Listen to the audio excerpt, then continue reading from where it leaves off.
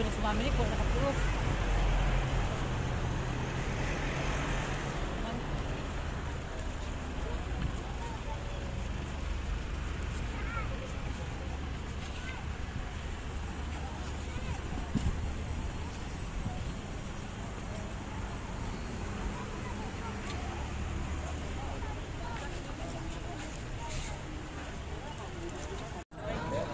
Sige.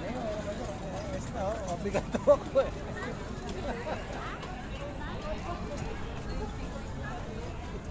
Umpisa pa lang, disgrasya na. Aksidente na.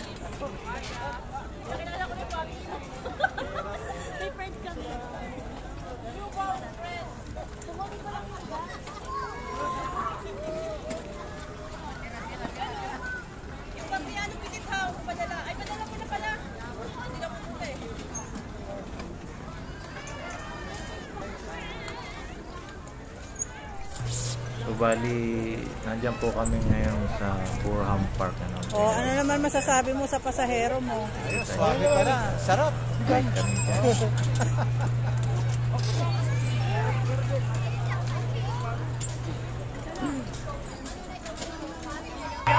So bali nandyan po kami ngayon sa Burham Park. No?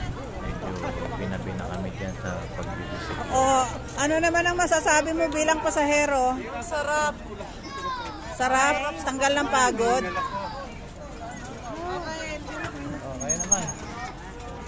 So, buffet tayo dito, buffet. Ayun na po kayo. Yan nga po pala yung ah, nadaanan namin. Pwede, Pupunta kami ng Baguio. Sa gasoline station, merong isang ah, buffet doon sa North Expressway. Coffee, ano? Robot, oh. Bakit ng pagkain? Sa good taste.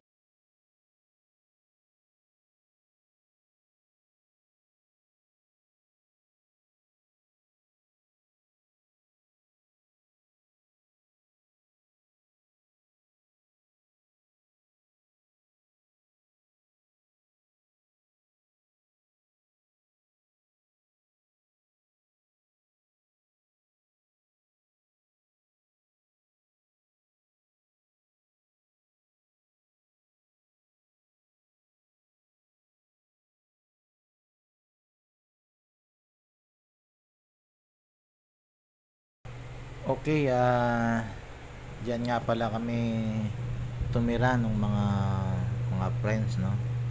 Ng team.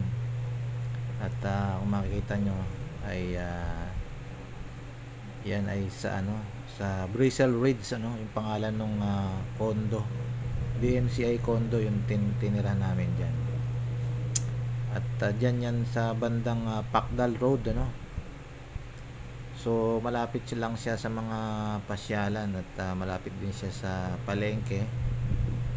Kaya ayan yung kwarto niya no. So meron siyang tatlong kwarto tapos maluwag din yung sala niya. Ayan yung kitchen niya oh. Makikita niyo no. So okay naman guys. Maganda naman yung bakasyon namin doon kasama yung team. Ayan siya oh.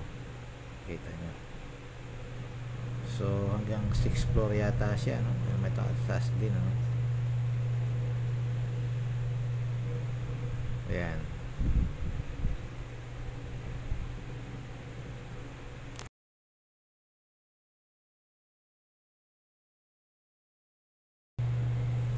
Ayan guys, yung nung pagdating namin kumain kami sa Good Taste Restaurant, ano, nagutom kami sa biyahe. Eh. Ayan. Habang nag-aantay kami ng pagkain. Tapos nung bago kami umakyat ng Baguio, dumaan muna kami dyan sa Lions, ano, pakuha ng picture.